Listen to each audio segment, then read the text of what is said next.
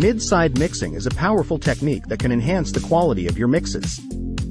It works by decoding a stereo signal into two parts, the mid channel, which contains the information that appears in both the left and right channels, the mono signal, and the side channel, which contains all the information that differs between the left and right channels.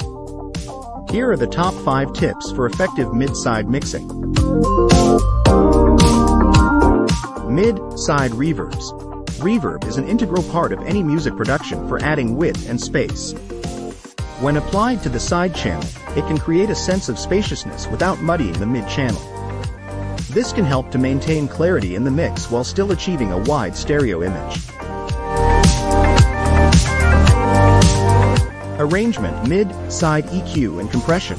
When mid-side processing, it can be easy to get caught up in enhancing the smaller elements of your mix and ignore the bigger picture.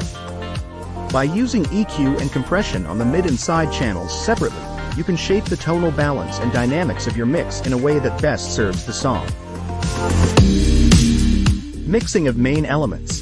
The main elements of your mix, such as the kick, snare, and vocals, are typically placed in the mid-channel for maximum impact. By carefully balancing these elements against the wider elements in the side channel, you can create a mix that is both powerful and wide. Mid-side volume mixing and automation. Volume automation is a powerful tool for creating dynamic interest in your mix. By automating the levels of the mid and side channels separately, you can create moments of width and depth that draw the listener in. Enhanced sidechain. Sidechain compression is a popular technique in many genres of music.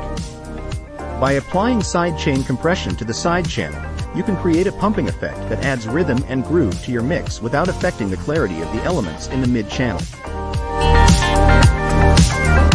Mid-side mixing is a powerful tool, but it should be used judiciously.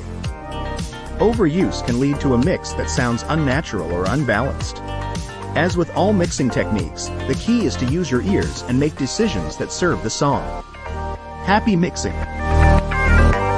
Please leave a comment with your own tips and what you would like us to cover next. Also tickle that like button and hit the bell and subscribe notification for more no-nonsense tips.